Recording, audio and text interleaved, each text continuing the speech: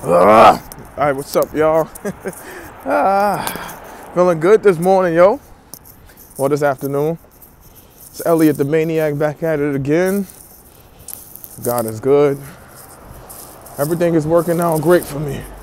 But anyway, uh, I'm gonna hit the heavy deadlifts today. I'm gonna go for 280. I mean, sorry, I'm gonna go for 485 today, and kind of tone down the legs. And that's about it. I'm just focused right now, meditating on this lift. But anyway, this is y'all. All right, y'all. This is Elliott the Maniac. Welcome to my show. Cue the music.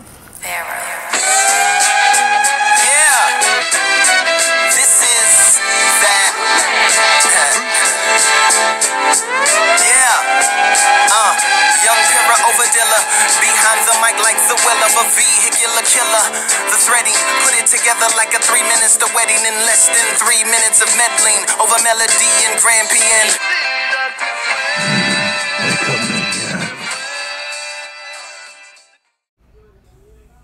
Ha ha ha ha ha.